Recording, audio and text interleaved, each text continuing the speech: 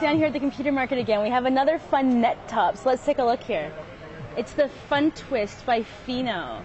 So here around the front we have a couple of status LEDs. We have two USBs. We've also got the headphone, microphone, USB, multi-card reader. We have an optical, HDMI, eSATA, two more USBs, your DVI, Ethernet, and power. So there's nothing else around the side here, but what we want to notice is this wonderful packaging that will point out that it's on the 330 Atom platform, Intel, and it's got a 500 gig hard drive. So check out the Fino Funtwist ultra compact multiple, or sorry, multimedia PC. I'm Nicole down here at the computer market.